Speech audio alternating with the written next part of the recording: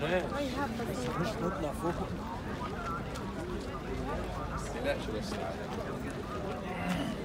Be careful ان شاء الله be careful تعالي انت الناحية العكسية عشان الشمس تعالي انت الناحية Here is okay here is okay ان شاء الله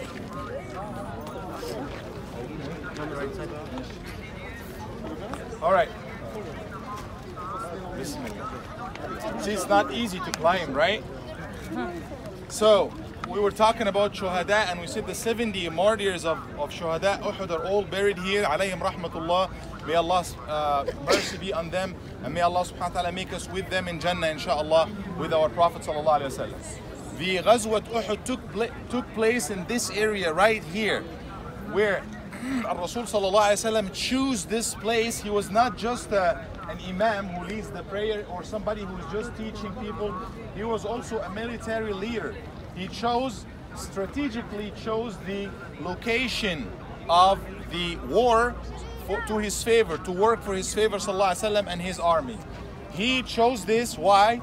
Because it's all almost all surrounded by Uhud from this area, so nobody can attack them from here. So the Muslims camp, the Muslims camp was here. They are protected from this side by the mountain of Uhud. Their back is to Medina. Medina is this way. So the enemy, the camp was there, was where Just this green stuff, where the, the palm trees are there.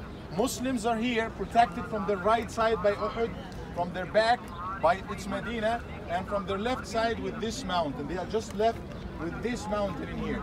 The Prophet ﷺ put 50 archers in there to protect them if anybody from the mushrikun, because they will be meeting in there, they will be fighting here.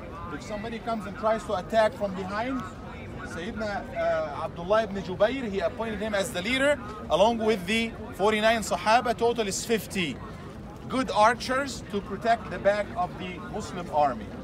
The battle began, the Prophet ﷺ is here and the Muslims, the mushrikun, and uh, on this side, and then Muslims totally won. They won. you very much. They got them all. And they started collecting the booties of war. They collecting the shares, and it was almost over. It was over. Then the 50 archers with Abdullah ibn Jubayr on this side, they thought it's over. But Rasulullah sallallahu alaihi wasallam told them, if you see us winning or losing, no, no matter what, regardless, you stay there. If you see us even losing, don't come and help us. Stay where, where you are. So they thought it's, it's done. 40 of them decided, they said, let's go down. Abdullah ibn Jubayr told them, I'm not gonna leave my place. Stay here. I'm your leader. The Prophet ﷺ told us this. Only 10 people, him and nine other people, they remained and they were there. Every time before, before when they were the 50 were there, Khalid ibn al-Walid, not Muslim at this time, tried, he knew that this is the weak point of Muslims. The army is here facing the other army. He thought to come back and attack from behind. He tried more than once, but every time they come this way, then the archers would shoot at them, and then the horses will go back. One time, two times. He was failing all the time until the 40 of the archers came down and he saw them and he thought this is the, the time to come.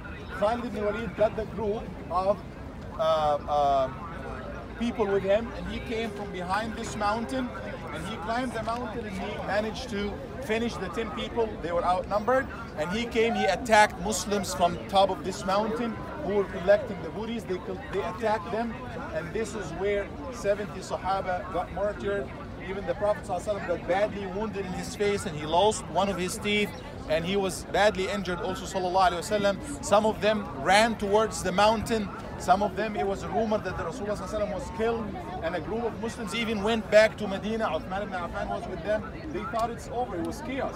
After they won and everything, they got attacks from all around, and they were losing at the end. Then Rasulullah ﷺ managed to get them back, and he said, I'm the prophet right here. And he, you can imagine, when he is attacked by the enemies, he is, you know, standing up, courageous like this, he could be killed he managed to get the group together and get the few Muslims who were left together, and they even chased the the uh, the non-Muslims who you know, they won, looks like they won, but they finished the battle and they left this way. So we learn from this ghazwa, from this battle, that Rasulullah when we obey him, will be successful. When we disobey him, we lose. Allah subhanahu wa ta'ala, this is the message He sent to Muslim. If you disobey Him, you would lose. All of that happened in here, in this area. So there's no there's no special thing. Some people take some pebbles from here or something. There's nothing special about this mountain other than remembering these stories and learning the lessons and saying salam to the shuhada and remembering and getting these lessons inshallah. Jazakumullah khair. Let's make our way back inshallah.